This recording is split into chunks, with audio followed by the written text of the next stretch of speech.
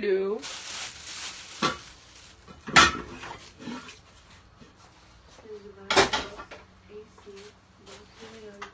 Swami Srila Prabhupada. The transcendental vibration established by the chanting of Hare Krishna, Hare Krishna, Krishna Krishna, Hare Hare, Hare Rama, Hare Rama, Rama Rama, Hare Hare. The sublime method for reviving our transcendental consciousness. As living spiritual souls, we are all originally Krishna conscious entities.